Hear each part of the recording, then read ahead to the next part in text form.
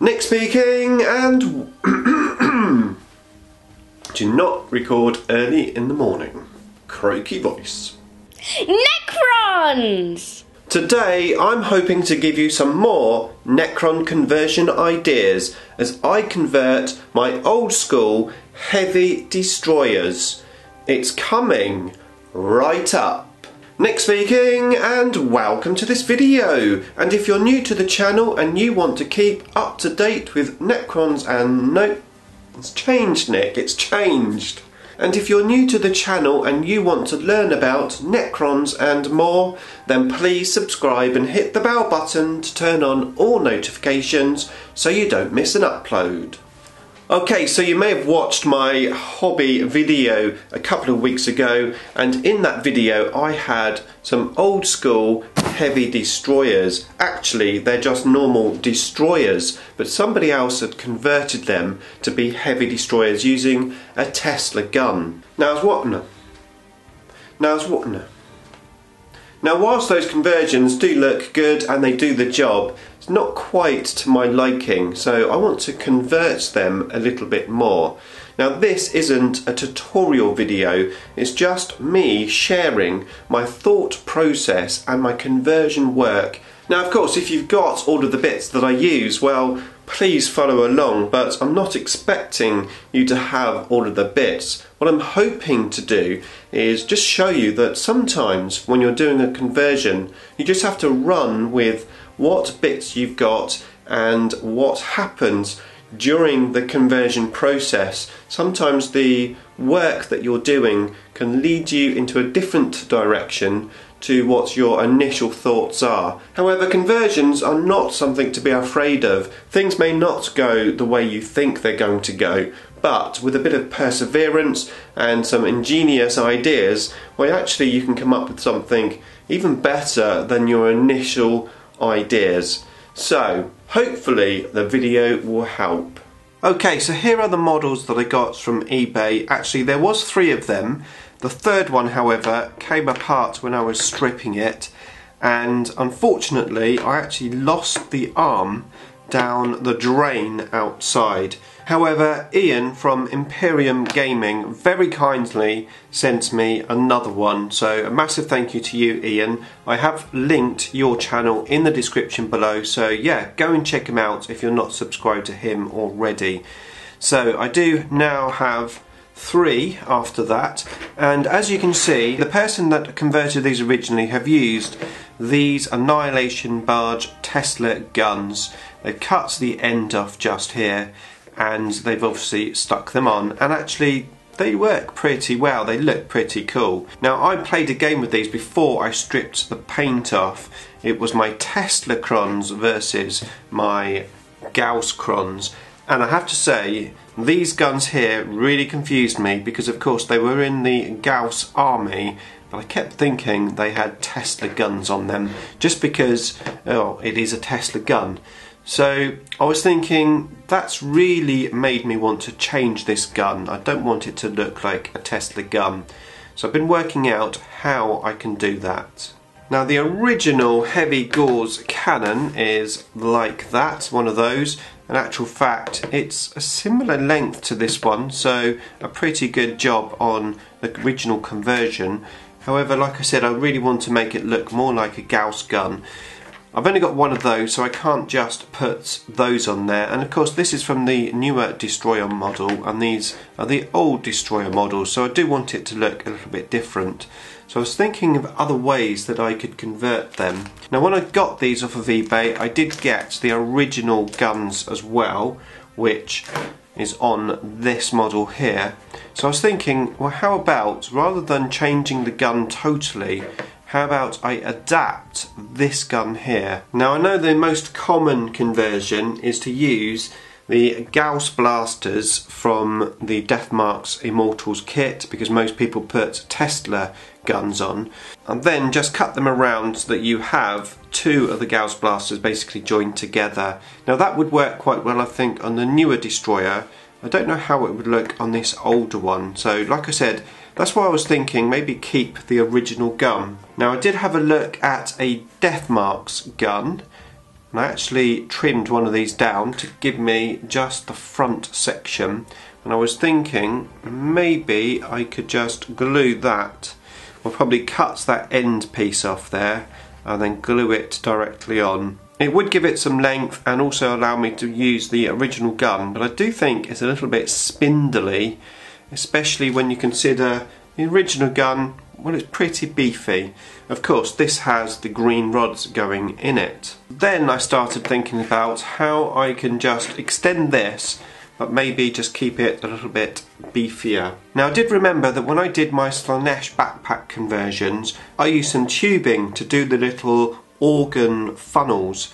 So I got that tubing, I thought maybe I could stick that onto the front, however it's 2 millimeters and it's actually really really thin. So then I was thinking well maybe I could get some bigger tubing to go over that piece of metal and then stick it on the metal behind. I had a look and I found a straw but that was too big but it might give me an idea of sort of roughly how it's going to look and then I was thinking I could find something to put on the front came up with this which is from a Tesla gun which does fit on there quite well. However, I still think that tubing's way too big. If I had a thinner tubing, that wouldn't fit on there because of the way this wire at the bottom sort of doesn't extend enough. I could potentially green stuff it, I suppose. Um, but yeah, I went back to the drawing board and had another think. So next I found this Tesla gun which has these little I suppose, energy warp filled things which you have on the original gun just here. And I thought, well, how about, because that's hollow in the middle, how about I put that on? Probably not that way, maybe that way there. Now that certainly does extend it out and it doesn't look too bad. However, I still think it looks like a Tesla gun and to be honest with you, it doesn't sort of match the model that well. So I sort of abandoned that idea again. Actually, to be fair, I concluded that this gun here was probably the best gun option that's available using our bits boxes. So yeah, a good job for the person that actually did the conversions. However, I do still think that this looks too much like a Tesla gun. So I was thinking, well, how can I adapt this gun itself using this as the base into a heavy Gauss gun? Well, one thing which is very common with Gauss is the green rods. So I was thinking, well, how about I cut out this section and maybe insert a green rod, maybe just the central section. So I tried that. I had a spare gun. Uh, this isn't actually glued together, but I went in and I cut out, if I can get it to join, there we go, uh, cut out that section just there in the middle of the tubing allowing me to put in a trimmed down green rod. Now it goes into the hole quite nicely and from above it looks pretty good. However from the side the green rod, hopefully you can see that on camera, is just sticking up. I can't get in and embed the green rod more into there. I think it's really very difficult to gouge out the plastic. Now I could file this green rod down so that it's flat and then glue it on so that it's flush, put one at the top and one at the bottom. But I was thinking that's a lot of work and probably going to be very difficult to do. So I went back to the drawing board and I found this which is a monolith green rod, so it's a much bigger rod. So I was thinking, well, how can I use this? And then came up with the idea which I think I'm going to use. If I cut this gun off just there, drill a hole out so that I can insert this green rod into it, and then cut the front off of this gun and again drill a hole into it so that I can insert it into the other side I'll end up with basically this gun but with a green rod in the middle and I think that will really make it look like a Gauss weapon as opposed to a Tesla weapon. Of course, I'm going to need three of these. I hunted everywhere in my bits box and eventually found three. So, that is going to be my idea. Now I do need to do some work on these guns as well because well, you can probably see one of these guns is facing up and one's facing down. I need to work out which one I'm going to use. The original gun, it is facing downwards with these two little loops but I think it's it works better with it facing upwards on these because downwards it's very close to the model base there. And it's going to be well a very difficult to paint. And B I think it just looks better in the up position.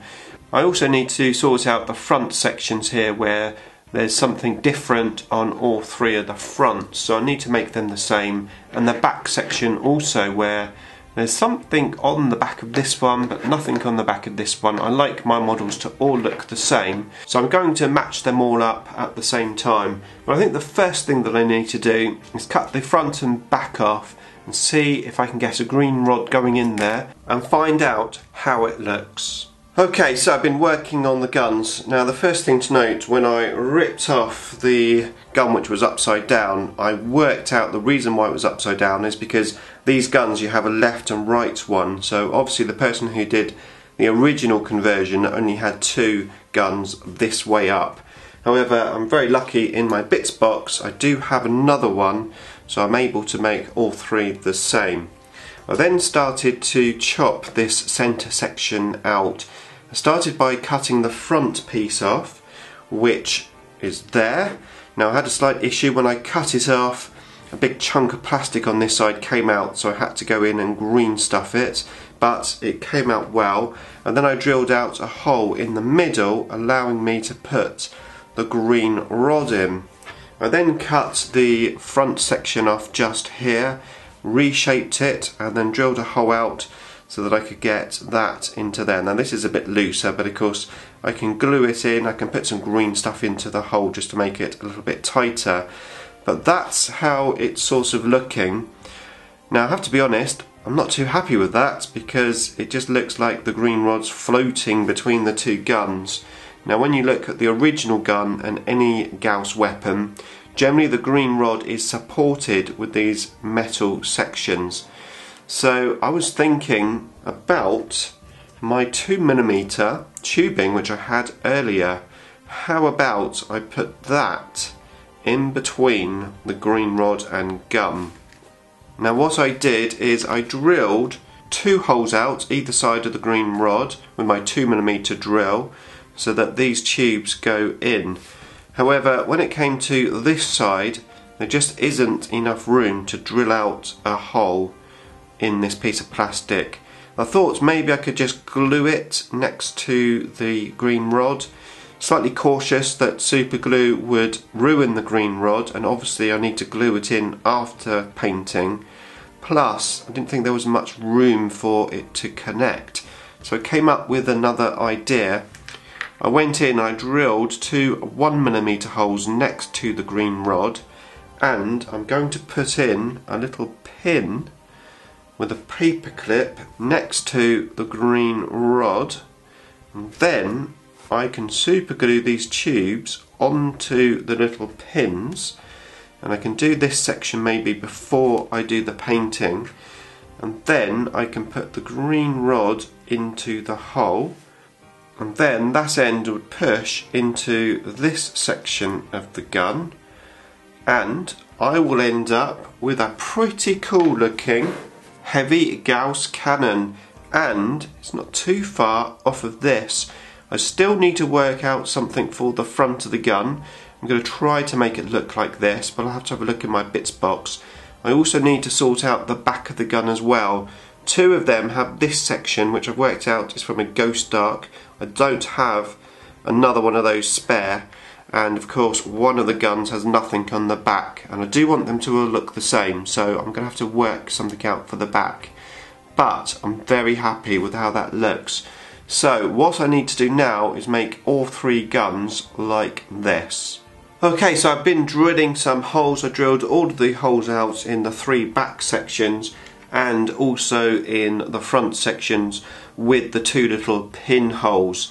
So what I did then is have a look at the front of this gun because I'm still not 100% happy with this section here. I still think it looks a little bit too much like a Tesla gun. So I was thinking how I could change this up. I had a look through all of my bits box and the best thing that I came up with was that section there on the front of this Gauss blaster. I was thinking if I cut off the two outside sections of the gun and stick these on instead, it may look more like a heavy Gauss blaster. So what I did is cut them off, I reshaped them, and this is the end result.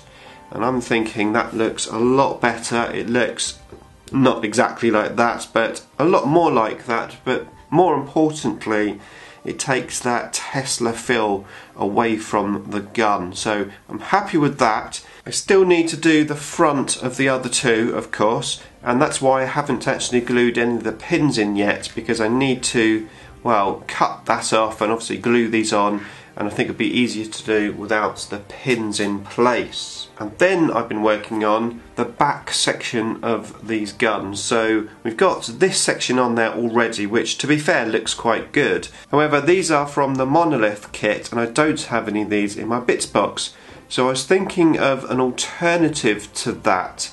So I had, again, a good look through my bits box and I didn't really have much there. The only thing that I could find, which does seem a bit odd, is this spider head and I was thinking maybe if I cut the two mandibles off possibly turn it upside down it may not look like a spider head anymore and I could put it onto the back of the gum. so that's what I did I experimented with it I cut those mandibles off I trimmed the top off to try and get it to fit flush and when I put it on with a bit of Blu Tack to hold it into position it looks like that. Now, it still looks a little bit like a spider head, I think, and when it's actually on the model itself, it just doesn't seem to match in too much. I've tried it upside down, and it doesn't really benefit it. I've tried it on the side, it doesn't really benefit it. So I don't think I'm 100% happy with that design. So I had another think about it. I looked at the original gum. It's got this sticky out section at the back.